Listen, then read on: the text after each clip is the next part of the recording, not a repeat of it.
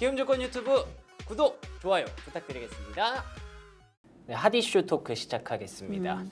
한미약품 말씀을 드렸습니다. 한미약품뿐만 아니라 최근에 한미사이언스도 급등을 하면서 제가 방금 확인해 보니까 한미사이언스는 과열 종목으로 지정이 돼 있더라고요. 네. 예, 이 두 종목이 어, 제약바이오 섹터 안에서 이슈몰이를 아주 강하게 최근 들어서 하고 있는 음. 종목들인데 그 이슈들에 대해서 어, 얼- 어, 굉장히 많은 얘기들이 나오고 있어요. 음. 네, 일단 첫 번째 이슈는 어, 이번에 좀 안타까운 말씀이지만 한미약품의 창업자이신 고 임성기 회장이 지난 2일에 별세하셨습니다.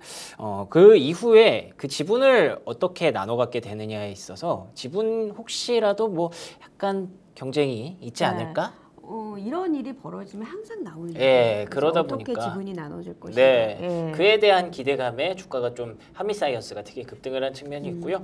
또 한미약품은 이제 또 기분 좋은 소식이죠. 어제장 마감 이후에 머크의 내쉬라고 하죠. 비알콜성 지방간염 치료제를 최대약 1조 원 규모로 기술 이전했다라고 공시가 나왔습니다. 이두 가지 이슈와 함께 주가가 움직이고 있는 흐름입니다. 네, 한미약품과 한미사이언스가 지금 나란히 상한가에 들어가 있는 그런 흐름이고요. 유한양행이 16% 이상 급등하고 있습니다. 좀 영향을 받았다고 봐야겠죠. 그렇죠. 그리고 최근 들어서 보면은 이른바 우리가 제약 바이오에서 제약주로 많이 봤던 음. 거래소의 제약주가 굉장히 강하게 움직여요. 네. 동문당도 그렇고, 그러니까 마치 95년대를 95년을 생각하게 천, 그러니까 그런 느낌으로 지금 너무 잘 가고 있는 그런 상황이에요. 예. 95년도에 특별한 이슈가 있었나요? 아, 95년이 아니라 지금 제가 잘못된 한미약품이 맨 처음에 그 마일드스톤 얘기 나도 2005년 아닌가요? 아, 그쵸? 2005년이죠. 그때 얘기 그 분위기가 굉장히 좀 많이 나타나고 2015년. 15년. 아 제가 1995년이라고 얘기를 했어요. 나 제가 봐도 아닌데 해서 2015년 당시에 그 흐름에서 제약바이오 움직일 때 특히 제약주가 움직였을 때의 느낌 굉장히 많이 지금 나타나고 있거든요. 요때가 한미약품이 대장주로 등극했을 때 그렇죠. 그때도 1조 원 기술 수출 얘기 저도. 이때는 한미약품의 뭐 주식 얘기를 한번 들었었던 그런 기억이 그때는 나네요. 여의도에서 온통 한미약품하고 한미사이언스 얘기 안 하면 어. 지금 못 해주던. 어. 예, 한미사이언스가 특히 그랬죠. 네, 예, 예. 그래서 그 부분이 과연 재현되고 있는 것일까? 지금 요걸 따라서 거래소의 제약주들이 일제히 같이 올라가고 있는 그런 상황이거든요. 사실은 예. 근데 그런 얘기를 하기가 조금 조심스러운 게 음. 그 이후에 많이 좀 좌초가 됐지 않습니까? 근데 이게 임상을 하다 신약 그 우리가 이거는 아 됐다, 네. 아 좋다, 막 이렇게 하기는 우리 이미 경험을 했잖아요. 예. 임상 3상 이상을 하다가도 실패가 될 수 있다는 거. 우리는 항상 이걸 염두를 해둬야 되는데 그때는 너무나 이게 기대를 많이 품고 있었기 때문에 그것이 약간 뒤편으로 물려난 그런 경우도 있어서 그 다음에 좀 많은 고난이 있었죠. 예. 그래서 그 횟수가 총 11건의 신약 후보 물질 기술 수출 계약이 있었는데 음. 그 중에 일단 다섯 건이 해지가 됐고요. 그리고 한 건도 현재 조금 어, 좌초될 위기에 놓여 있다. 그러니까 한 절반 정도가 이렇게 안 좋게 끝이 나다 보니까 이에 대해서 아, 이거를 믿어야 되나 말아야 되나 하는 시선도 나오고 있고 근데 이번에 나왔던 그 비알콜성 지방간염 치료제가 음, agonist 뭐 그렇게 dual agonist 이렇게 부르더라고요. 근데 그게 한 번 해지가 됐다가 다시 계약을 한 거잖아요. 그러니까 이게 어느 회사였죠? 그때 당시에 얀센. 얀센. 네. 네. 얀센이랑 계약 체결을 했을 때 또 큰 모멘텀이 한번 됐었는데 얀센이 계약을 해지해 버렸죠. 그리고 나서 이제 굉장히 많은 실망 매물이 나왔었고 그런데 그거를 머크라는 회사가 가져갔어요. 그런 측면에서 봤을 때 오히려 의미를 좀 부여해야 되는 것이 아닌가. 네. 그러니까 지금 여기서 이제 말씀을 드릴 게 뭐냐면 그때 얀센이 가져갔을 때 이게 2015년대였는데 비만 당뇨 치료제 후보 물질로 가져갔었는데요. 그래서 아 이거 이제 그럼 신약 물질로 그러니까 실패했으니까 예. 끝나야 되는 거 아니냐 근데 이번에는 뭐냐면 지방 간염. 음. 그러니까 지금 보면은 머크사가 암 쪽에 어, 지금 이거 굉장히 많이 하고 있는 어, 그런 데였는데 지방 간 염으로 해서 어, 조금 더 이제 이 스펙을 좀 넓히기 위해서 여기를 또 가져갔다고 얘기를 하더라고요. 그래서 이걸로 다시 한번 살아났다. 신약 물질 후보로서 살아났다. 이런 부분에서 더 의미를 가지고 있다라고 하고 아, 한미약품이 한번 이렇게 크게 꺾이긴 했지만 네. 꾸준하게 연구 개발을 진행을 해왔고 어, 여기에 대한 결실이 또 이번에 나왔구나라는 얘기를 좀 많이 하고 있습니다. 그래서 그렇습니다. 더 반가운 것 같아요. 일단 계약금이 어떠니 이런 거보다도 그런 부분에서 더 많이 지금 시장에서 환영을 하고 있는 듯한 그런 분위기도 들고 있습니다. 네, 예. 그러면은 한미약품의 종목 게시판 제가 준비한 댓글들을 한번 음. 살펴보도록 하겠습니다. 첫 번째 댓글은요. 왜 한미사이언스가 대장인 거야? 정말 이해할 수가 없네. 누가 나 좀 이해시켜 줘봐. 라는 댓글에 지분 경쟁에서 한미사이언스를 차지하면 한미약품의 주인이 되니까 당연한 거지. 한미약품도 분명 따라간다. 걱정 마라. 요건 지분 경쟁 얘기. 예, 그렇습니다. 아까 제가 짧게 말씀을 드렸던 그런 부분인데 한미사이언스 지주사잖아요. 그렇습니다. 예, 예. 한미사이언스가 한미약품의 41.39%를 보유하고 있는 지주사입니다. 그리고 한미약품에는 오너의 지분이 없는 걸로 제가 아까 거의 없는 걸로 기억을 하고 있는데 한미사이언스 다 가지고 거의 대부분 그쪽이 있거든요. 음. 그렇습니다. 예, 그러니까 지분 경쟁 나름 사이언스죠. 그 예. 돌아가신 선대 회장이 3점 아 34.27%를 보유하고 있었는데 이게 법정 상속 비율대로 보면 부인 아내한테 1.5가 가고 음. 그 자제분들한테 111이 간대요. 음. 그래서 결론적으로 그걸 다 계산해 보니까 아내분이 이제 최대 주주가 된다고 어, 하더라고요. 네. 12.69%. 음. 근데 현재 한미약품의 사장이자 한미사이언스의 대표가 첫째 아드님인 임종윤 사장인데 음.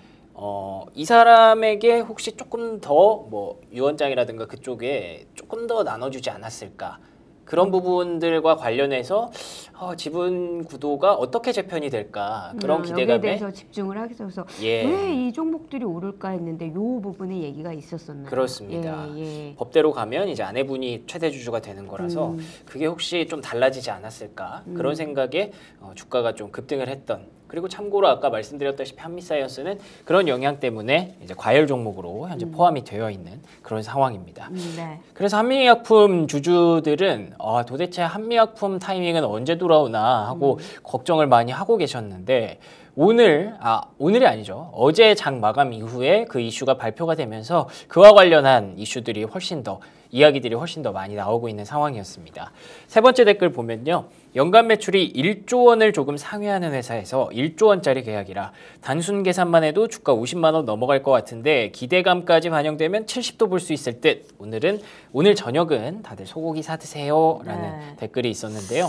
이거를 보면서 제가 예. 음, 이게 지금 한미약품이 예전에 80만 원, 그러니까 76만 원까지 갔었거든요. 예. 80만 원 넘긴다, 100만 원 넘긴다. 그러니까 70만 원 하면 최고점이에요. 그러네요. 예, 예. 그런 부분에서 얘기가 나왔는데 그러니까 지금은요 백신 개발에 지금 참여하고 있다 임상 일상에 들어갔다 이것만 해도 막 급등하는 그런 상황에서 어, 한미약품이 너무 좀 잔인하고 너무 이렇게 너무 이렇게 이렇게 뭐라 그럴까요? 너무 빡빡한 그런 잣대를. 어, 잣대를 댄다고 할 수도 있겠는데 이제 과거에 생각을 해보면 제가 요거 하나 보여드릴게요. 투자 판단에 관한 주요 경영상안 해가지고 어, 공시가 하나 나왔잖아요. 요거를 좀 잘 보시는 게 좋을 것 같은데 어, 지방간염 치료제 기술 이전 계약 체결 해가지고 총 수출 금액이 이게 지금 이게 얼마지? 어, 10만, 100만, 1000만, 억, 8억 7천만 달러인가요? 아, 예, 네. 예, 예.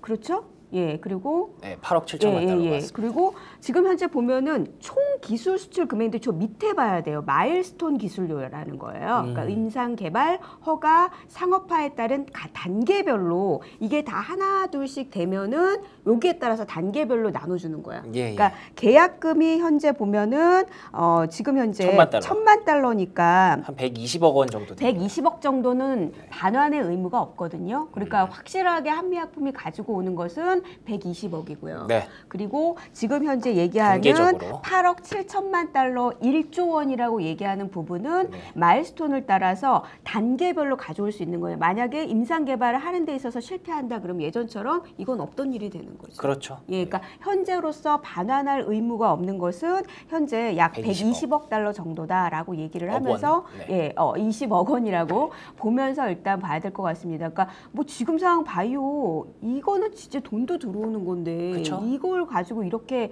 너무 빡빡하게 들이대는 거 아니야 라고 할 수도 있는데 일단 그때도 아 1조 기술 수출했다. 1조 이거 다 반응하면 얼마 이 얘기가 지금 나와서 다시 한번 좀 말씀을 드리는 거예요. 그러니까 네. 다 성공을 하면은 1조 원이 들어온다는 거. 이건 좀 다시 한번 말씀을 드리게 됩니다. 그리고 네. 이거는 한미 사이언스, 그러니까 기술 개발료를 보여 지금 저, 기술 수출료를 지금 받는 거잖아요. 이게 한미 약품에 모두 다 들어가는 건 아니에요. 음. 어, 지난번에도 보니까 한한 30%는 한미사이언스가 가져가더라고요. 어, 그렇군요. 그러니까 영업이익에도 어느 정도 어, 차이가 날 거라는 것들 일단 어, 보시면서 그때 또 이것 때문에 난리가 났었거든요. 이게 네. 뭐냐, 뭘 이렇게 주냐 이러면서 왜 영업이익이 덜 나왔냐 이렇게 얘기가 나왔던 게 기억이 나서 예전에 보면은 이 분배의 어떤 그 흐름과 또 그리고 이런 단계별로 1조 달러가 분배돼서 나온다는 거 이거는 일단 우리는 좀 공부를 하면서 가야 되지 않을까. 네. 예, 예. 그렇습니다. 다음 댓글 볼까요? 네, 그러면? 그렇습니다. 그래서 네. 그에 대한 얘기들이 분분합니다. 그러니까 이게 오늘 상한가 가긴 갔는데 계속 갈 것이냐. 음. 근데 단숨에 상한가에 들어가니까 뭐 연상, 삼연상 뭐 이렇게 가지 않겠냐. 뭐 이런 얘기들도 많았어요. 그래서 60만 원대에 물려 있는 주주입니다. 그동안 해온 걸 보세요. 상이요, 연상이요? 한두 번 당합니까? 라는 댓글이 있었고요. 어, 60만 원대 가지고 계시는데 굉장히 좀 그러니까 뭐라 그럴까요? 굉장히 좀 이렇게 뒤로 보시는 거네요. 지금 이거 너무 이렇게 간다고 우리 조급해하지 말거나 막 신나하지 말자 이런 얘기인 것 같아요. 신나하지 말자가 아니라 음, 못 간다 얘긴다, 예. 아뭐 그래 뭐 그래봤자지. 내가 하루 이틀 보냐 약간 오히려 짜증내는 그런 아, 느낌. 예. 너무 이렇게 먼저 가지 말아라 이런 부분인 것 같아. 네, 예, 그 다음에 이제 에로 자체로 능력이다. 글로벌 기업들이 호구도 아니고 반환되더라도 계속 에로가 나오는 건 음. 그만큼 글로벌 흐름과 수준을 잘 따라가고 있다는 반증 아니겠나. 어, 이것도 맞는 얘기 같아요. 네. 글로벌 기업들이 이렇게 계속 어, 라이센스를 가져가는 것 자체만으로도 한미약품의 어떤 투자 가치는 충분히 있는 것으로 받아들여야 될 것 같고 네. 결론적으로는 앞서 그 하얀색 댓글처럼 어, 얼마나 더 이 상승세가 지속될 것이냐가 중요할 것 같은데 마지막 댓글을 보시면요 이거 유통 물량이 워낙에 적어서 사실 뭐 별볼일 없는 그런 주식으로 쳤을 때 잔량이 500만 주 쌓여 있는 꼴이다 참고하세요라고 하셨습니다. 지금 제가 아침에 봤을 때까지만 해도 17만 주 정도였거든요. 어. 근데 지금은 어떻게 됐는지 잠시 후에 확인을 좀 해봐야 될 것 같긴 한데 네. 뭐 이렇게 된다면 거의 500만 주급이다라고 음. 말씀을 하시니까 충분히 뭐 설득력 있을 것 같기도 하고요. 한미약품이 네네. 한미약품이요. 예. 지금 현재 네, 어느 지금 정도죠? 과열 종목의 항미약품을 보시게 되면은 어, 한 거래량 자체가 50만 주 정도밖에 안 되거든요. 어, 그러니까 이게 뭐 거래가 뭐 활발하고 이런 건 아니에요, 사실. 이게 좀 회전율까지 좀 봐야 될 것 같은데 일단은 지금 50만 주 정도로 상한가에 들어가 있는 상태에서 뭐 더 이상 늘어나지는 않고 상한가 잔량은 현재 보니까 한 22만 주 정도 되는 것 같아요. 그러네요. 예. 네, 21만 음. 주. 그러니까 아주 뭐 적극적으로 거래가 되지는 않는데, 그러니까 이게 기대감이 더 실려서 어 뭐 코스닥 바이오의 어떤 기분을 기, 어떤 흐름들이 실려서 이쪽으로 간다면 글쎄요, 예. 기세를 탈 수도 있는 그런 부분은 있습니다. 그러니까 네. 아무튼 실적적으로 한미약품은 어, 지난번에 한번 경험이 있었고 실적에 대한 이야기도 충분히 할 수 있는 기업이고 그동안에 연구개발 쪽으로는 우리나라에서 최고의 어, 어떤 그 뭐라 그럴까요? 어느 정도 돈 벌면은 정말 가장 많이 연구개발에 투입하는 그런 기업으로도 많이 알려져 있잖아요. 그래서 좀 더 꼼꼼하게 살펴보고 계시는 것 같아요. 그래서 어, 마냥 기뻐하진 않고 이것도 보고 저것도 보고 그러시는 것 같습니다. 네. 예, 예.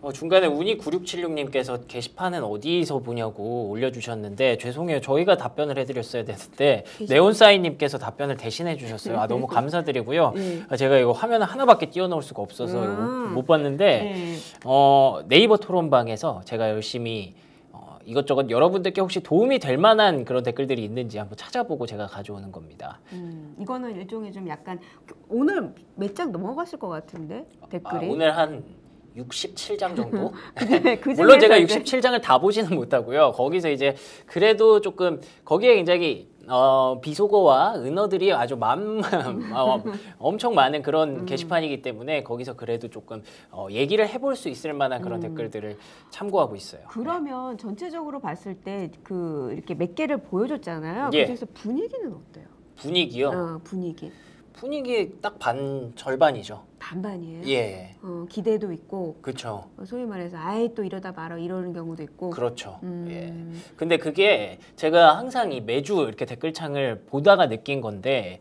그분들이 다 진심인지는 모르겠어요.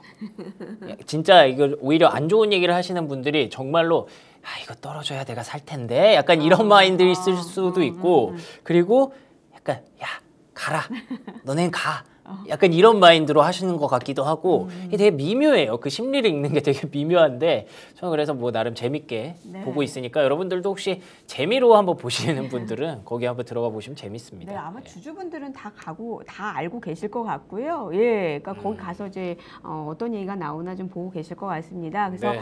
과거 2015년 왜 제가 1995년이라고 했을까요? 갑자기 그게 좀 어이없네요. 예, 2015년 당시의 영광 그리고 유한양행도 예 전에 기술 수출을 했었어요. 작년인가요? 그러면서 이제 이게 거래소에서 대장주로 또 올라올 수 있을 것인지 우리는 항상 얘기할 때 삼성 바이오로직스와 셀트리온 얘기만 했잖아요. 네. 근데 지금의 분위기에서는 어, 정말 결실을 맺고 있는 결실에 대한 이야기, 계약금까지도 받아난 이런 한미약품과 그리고 유한양을 중심으로 좀 얘기가 좀 더 될 수 있을지 이것도 한번 관전 포인트로 계속 지켜보는 거 좋을 것 같습니다. 네.